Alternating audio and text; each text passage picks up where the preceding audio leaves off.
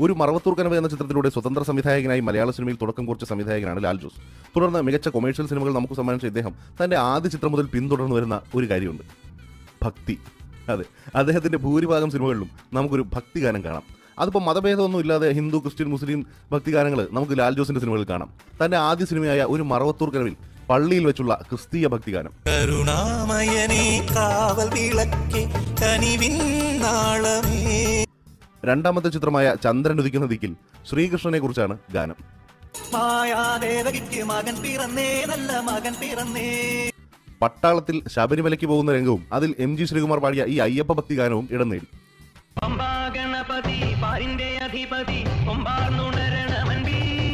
ഈ ഗാനം ഇപ്പോഴും മണ്ഡലകാലത്ത് ഏറെ പോപ്പുലറാണ്.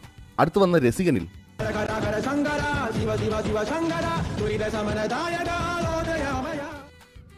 ഈ ഗാനങ്ങളുടെ എല്ലാം സംഗീത സംവിധായകൻ വിദ്യാ